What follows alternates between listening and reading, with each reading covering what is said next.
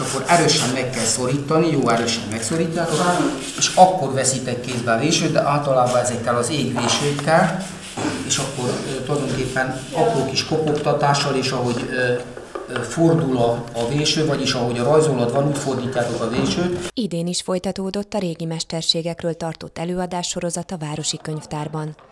Német Ferenc népiparművész a fafaragás rejtelmei bevezette be a Hévízi Általános Iskola hatodik osztályos növendékeit. Egy interaktív technikaóra keretében saját alkotásaikat is elkészíthették a tanulók. A népi iparművész már gyermekkora óta űzi ezt a mesterséget. Plastikával, domborművel kezdte a pályafutását, pár év elteltével már kiállításokra vitte népművészeti alkotásait. Mint elmondta, egyre kevesebben művelik a fafaragás mesterségét. Az előadássorozat segítséget nyújt abban, hogy a fiatal generáció is kedvet kapjon ezekhez az elfeledetnek tűnő szakmákhoz.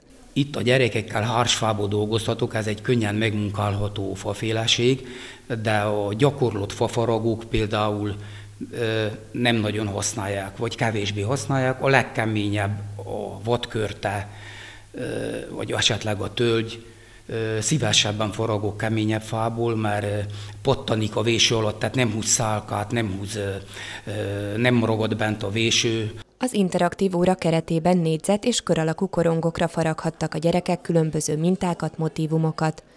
A programot a diákokon kívül a fürdővárosunkban pihenők is látogatták. Rajciné Nagy Vera férjével együtt Dunaújvárosból érkezett. Mindketten nagy rajongói a népművészetnek, azon belül a fafaragásnak is. A különféle vásárokon mindig elgyönyörködünk, és szívesen dolgozunk a fával. Vannak ilyen fatálaink, az ember örömmel fogja, mert szinte él. Még utána is, miután már nem él a fa.